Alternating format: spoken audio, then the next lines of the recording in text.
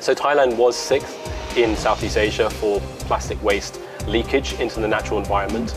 So Thailand was sixth in the world for plastic waste leakage into the natural environment. So this is our first machine that we use, which is our shredder machine. Okay. Um, so it uses a big old mo motor here, which is attached to a drive shaft, um, and it drives these teeth inside the machine here. So once we've got the, uh, the flakes, so this is just a small example showing what the flakes look like.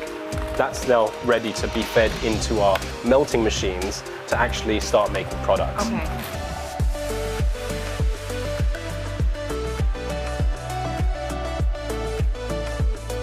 Swadika, I'm your host Fatira Tirak and welcome to Thailand Today.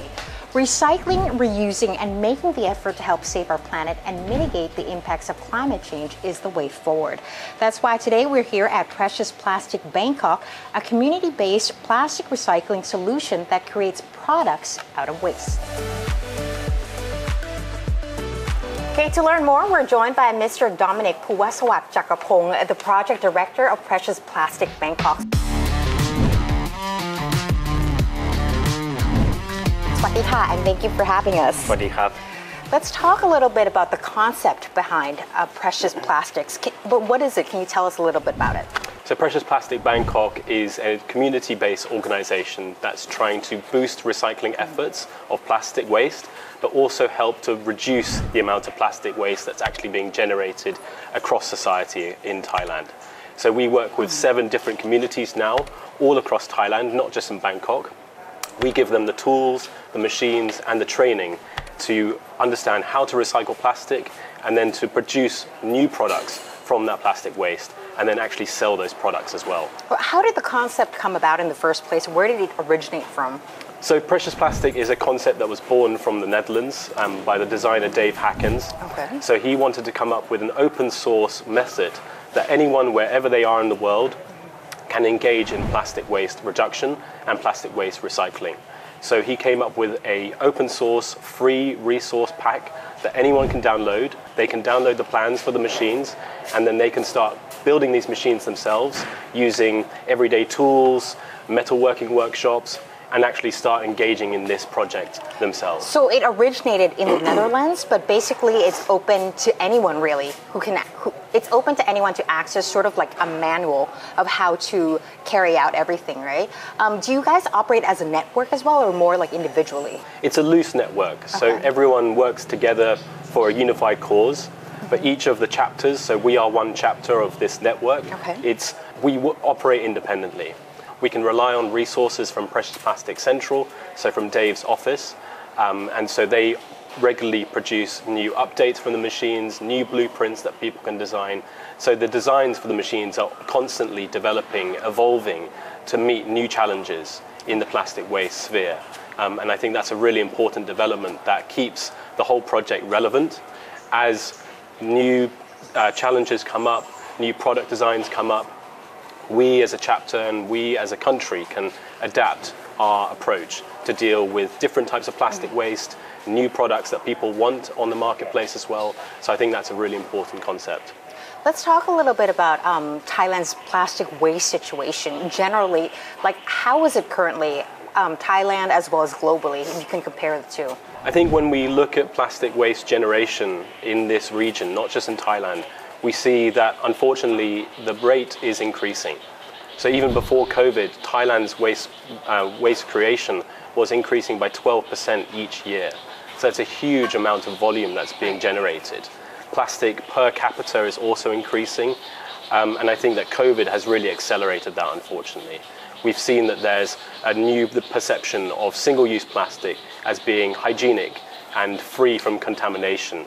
So people are less likely to use recycled plastic. Right. We also see food courts not providing uh, reusable cutlery anymore. Um, hotels re- requiring you to wear gloves when you go down to breakfast. Um, and I think that all of these new forms of single-use plastic that we didn't have to use before, they have proliferated across the region Right. and across the globe. And we are seeing the results of that. When we do beach cleanups and um, community cleanups, it's masks, it's personal protective gear, PPE, that we're finding. All these gloves, all these masks that are used once or maybe for a few hours and then they're thrown away. And we also have all of these ATK tests as well, which we use for 30 seconds. Um, and we're having to use these every day now, whether, whether we go to school, whether we go to work, whether we go to university. And that waste is just building up. Mm-hmm. And there's nowhere for it to go but for, for landfills at this point. And so we want to step in with a solution.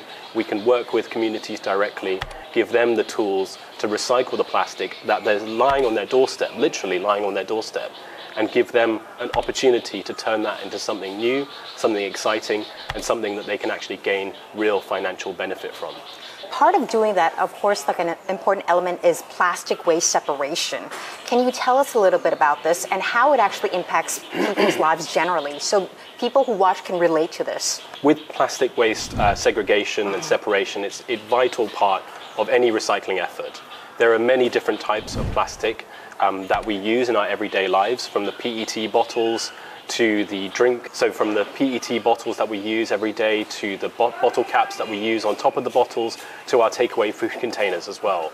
All of these are different types of plastic and they need to be separated before they can be recycled because otherwise it contaminates supply, it makes it more expensive for big recyclers and community based recyclers like us as well.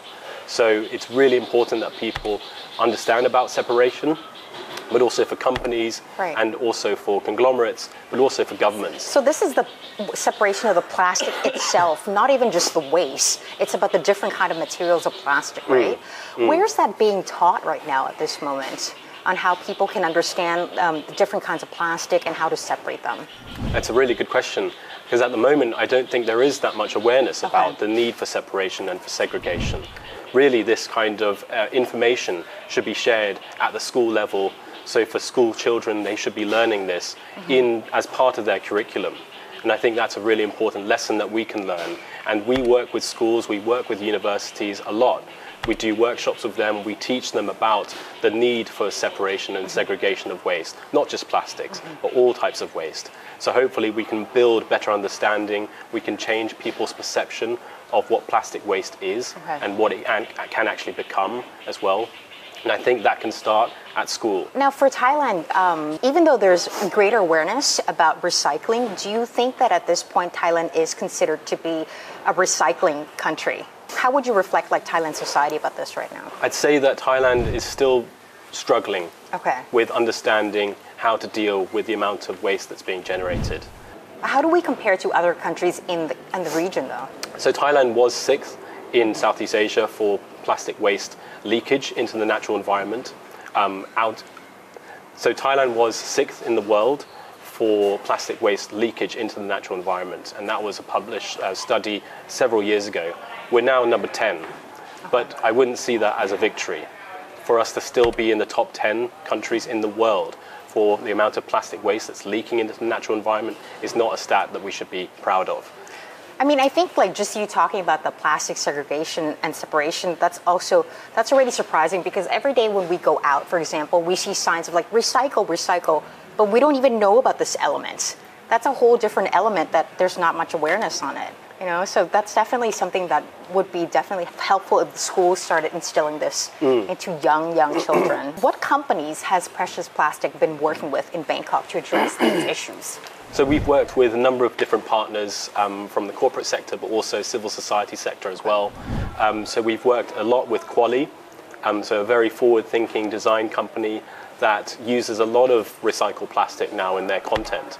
So okay. from our bottle caps to PET bottles to plastic bags to even fishing nets, they accept all of this recycled material now and actually produce really nice, aesthetically pleasing household products. I've seen it. It's very creative. They mm. have them like you put keys in them and they yeah. pop out. It's very yeah. cute.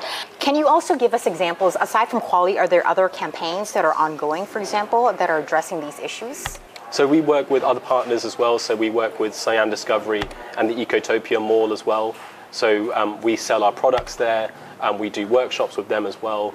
Um, but there are a number of different um, other organizations like us that are working to develop new products um, and develop new collaborations so that we can work with them, we can build new ideas, we can build new ways of raising awareness about these issues. Um, so making skateboards, making uh, plant pots, making hanging baskets, making lampshades, all of these are new designs that we can develop and um, push into the market to show that there is a marketplace for recycled materials and they can make really nice products that are attractive and speak to this whole message as well. Okay. Let's take a short break and we'll be back to look at some of these products as well as the recycling facilities here.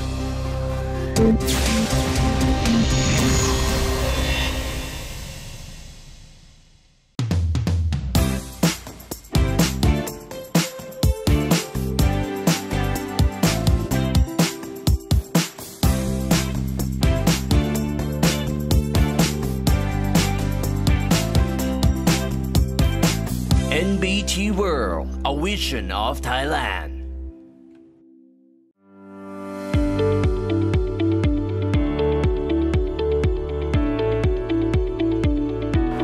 And welcome back to Thailand Today. Let's take a look now at the recycling facilities here at Precious Plastics Bangkok. Mr. Yeah. Dominic, please. Welcome. So this is our showcase workspace that we have here that provides a really unique perspective on what we can actually do with this technology. So we have all of our machines here. We also have some of our products on display. Um, and this operates as basically our hub for collecting the plastic waste in the first place. So we have some of the plastic waste here that's already been sorted. Can you explain like what this is? Like I see Yeah. they're all sorted in different colors. So these are all plastic bottle caps that have been brought to us through our drop-off network, Mm-hmm. but also through individuals sending the plastic to us in the post and dropping it off here at our workspace as well. So, people can just mail them in. Absolutely, yeah. Okay. Which is an incredible idea that people are so active and um, interested in this project that they're actually willing to post us plastic. you get a lot of mail. mail we do, You yeah. do? So we have packages that stack up every month. When the plastic comes to us, we have to sort it first. Okay. So we have to sort it by color and also by type. So as we were talking before, there are seven different types of plastic. So we have to separate them into the different types. Okay. So PET bottles, the, the clear plastic bottles, those are type one. Okay. Um, the bottle cap is actually a different type of plastic. Okay. So we need to separate them. So the bottle cap is type 2 or HDPE plastic. So that's what we're collecting here. But then we also have um, takeaway food containers, which are type 5 plastic or PP.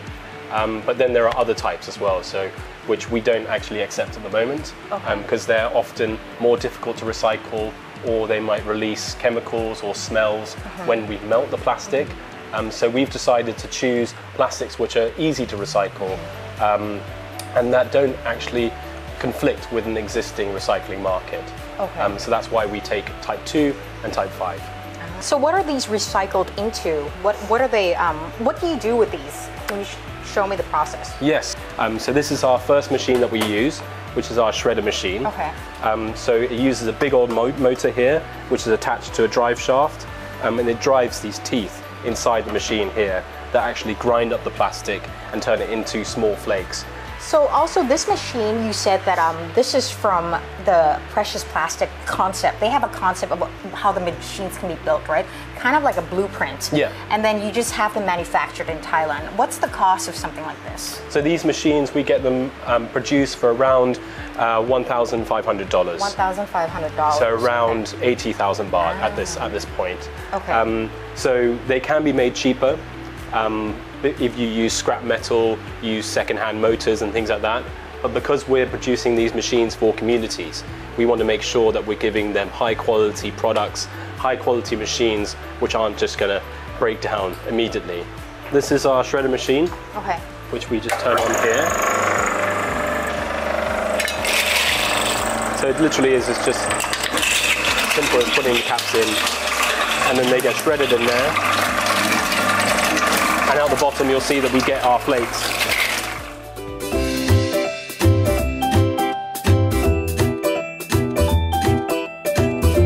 Even the plastic bottles get shredded like this? Uh, yes, but not by us. Okay. So the plastic bottles will often send them to another organization or maybe a bigger company as well who can then recycle it on an industrial scale. Um, so we choose to do these caps just because it's a lot easier um, in terms of the melting process as well. So it's actually better for us to recycle this than the PET bottles as well. When the bottles, um, when the caps come, do they need to be cleaned first? How, how does the sanitization work?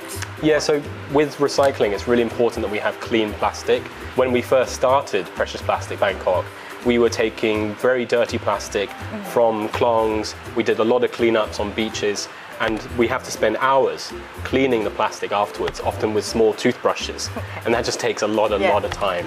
So we try to move towards a system where we can intercept the plastic before it becomes dirty. Okay. That's why we set up our drop off network as well, so that people, whenever they use plastic and generate plastic waste, instead of throwing it away into their normal bin, they can put it into a separate bin, and then that plastic is already clean. And then they can send that plastic to us, and as you see, it's all perfectly clean Where and ready to use. located? So we have over 50 locations now, Okay. all across Bangkok, All across Bangkok, that yeah. collect plastic for us. Like, are they in communities or where are they located usually? usually cafes, restaurants, businesses, they can all sign up. So if there are businesses out there that are interested in being part of this network, then they can get in contact with us and then we can send them instructions about how they can be part of that network um, of drop-off centers. Yeah, so once we've got the, uh, the flakes, so this is just a small example showing what the flakes look like. That's now ready to be fed into our melting machines to actually start making products. Okay. So that's a really nice raw material. And this is actually something that we can sell or communities can sell already. So this is also you said that um do you give these machines away as well or um, because people also make their own so that they can commercialize it at the same time. Is it both ways right now? Absolutely, yeah. So people can use this technology for commercial gain. So there are businesses in Thailand that have set this up to operate as a business. Right. And so I think that's a really cool way that this project and this technology can be used. But also, um, as we're doing, we're working with communities. So we're donating these machines.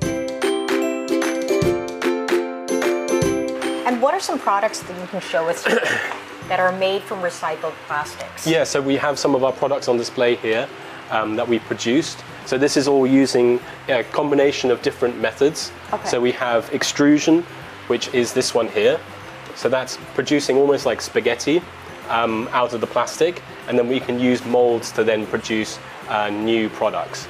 Um, we have our compression machine, which makes our, our, us these sheets of plastic, um, and so we can make up to 45 centimeter squared And this is from the caps as well, the Yeah. different colors. Yeah, Okay, so you exactly. just Yeah, um, and melt so that allows us to be really creative um, with the color color palette that we use um, and make really nice uh, shapes, colors, um, and combinations. Where are these products being sold after they're made? Um, are there any of the original products that are made here? Are you selling them as well? Yeah, so we, we sell them online Okay. on our on our Facebook page um, and also through um, Ecotopia at Siam Discovery, um, and then also through other shops all across Bangkok as well. And how do they benefit the planet? Well, I think these products, what they aim to do is to demonstrate to people that there is an alternative to just throwing away plastic Right, waste. right. This Okay. plastic waste can actually be produced into new, exciting, creative uh, concepts um, that communities can get part of as well. Um, and what it's trying to do is raise this sort of awareness, but also inspire people that plastic waste doesn't necessarily need to be just trash. It can actually be an incredibly powerful, useful resource that can be turned into something and given new life. Um, so hopefully it helps to educate people, inform people about plastic waste, um, and about single-use generation in the first place as well. Do you have um, other products that you can show Yeah, us? absolutely. So we have this whole table. We've designed in collaboration with our communities. So this is a product that we've made with the Doi Tung community, for example. What Um, is it? Is it for um, This is their logo. So this is uh, like a little keychain that they Ah, can then have on bags and things like that. Um, we're also doing things with the Mercy Center as well in Klong Toey. So this is a little uh, neck uh, necklace charm, um, and also with the Banampa community as well. Hmm. So what we're trying to do with all of our community um, work is actually work with them, engage in a consultation, and see what products do they want to make, which are unique to them, that speak to their sort of community identity. Um, so Banampa being by the sea, they've chosen to go with very nice coasters that speak to their seaside uh, connection. So I think that's a really nice way that we're building that community connection. Do you work with artists too? So yes, we, we work with artists a lot. Yeah. Um, so they help us both with the color combinations, with product designs, um, and I think that that's something that will develop as well as we grow the project. So working both with plastic trash in its raw form, but also once we actually melt it as well.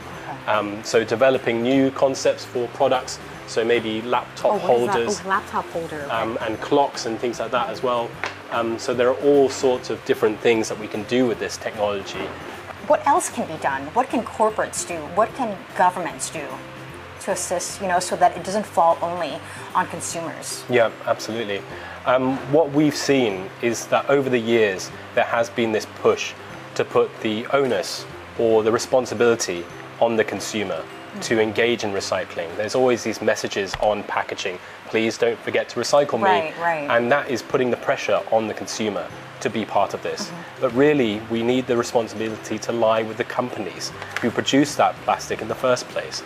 So this is all about the concept of extended producer responsibility. Mm-hmm. What we see in Europe, for example, is you have waste collection points, bottle banks set up at supermarkets. So when people go and do their weekly shopping, they can take their plastic bottles back with them, recycle them, and or just reuse them. And so that's a really simple concept that Thailand hasn't got yet. Mm. And so that's something that companies need to develop, but it's also something that governments need to be Yeah. pushing. So we need to see the Royal Thai government uh-huh. supporting a, a very extensive extended producer responsibility law, which will push companies to develop these bottle banks mm. and ways for companies to actually bear the responsibility for the waste that they are helping to generate. Right, enforcement would be a very important solution to this. Now, for those watching at home um, who want to do, like who want to help, whether do you have any tips on you know small things or big things they can do? Well, I think that with recycling and, and with, re- well, I think with reducing the amount of single-use plastic that we're generating, it's really important to take it step by step. Right. I think asking people to reduce the amount of single-use plastic that they're using immediately, just clicking their fingers and saying, okay, no more single-use plastic, that's not really possible. It's not achievable even for myself. I struggle to reduce single-use plastic. How long do you think it'll take before people can actually stop using single-use plastic? I think it requires input from all stakeholders. Yeah. So individuals, they can take small steps. So each week they could try a different type of single-use plastic and cut it out. Mm-hmm. So it's plastic bags, plastic bottles, um, and just see how you can incrementally increase the amount of plastic that you're reducing. But also, again, it's the companies need to be taking steps to reduce the amount of single-use plastic that they're generating. But it also needs to come from governments as well. So we need to have legislation which encourages people to reduce the amount of single-use plastic that they are um, producing or generating. What about in Thailand? Because We don't have that law. Yeah, but We I have- actually a lot of places are not using plastic bags Yeah. anymore. Um, supermarkets, for example, right? So, Yeah, supermarkets um, have put in place that they won't automatically offer them, but you can still get them. Right, And right. convenience stores, um, just around the corner, there are some that still give out plastic bags almost autonomously, and that needs to change. We need to move away from that kind of thinking in terms of single-use plastic generation. It has to be an effort from every single person. Everyone. Yeah. All parties. Yeah. For the for people watching at home who want to send in their plastic or participate in the activities organized by Precious Plastics Bangkok, how can they do so? Yeah, so um, we're really keen for people to get involved. So they can come to our workspace. We have workshops that we do here, right here. Um, but also, if you want to send us your plastic, you can get in contact with our Facebook page. You can uh, get the address, all of our information there. We have all the information about what kinds of plastic we accept as well available on our website and on our Facebook page. Uh, so please do get in touch if you're interested. We're also looking for communities as well that want to be a part of our movement. Um, so if you live in a community that's affected by plastic waste that you feel would benefit from our machines, then we're really keen to get in, in contact with them um, so that we can bring our machines to your community um, and help you deal with this plastic waste as well.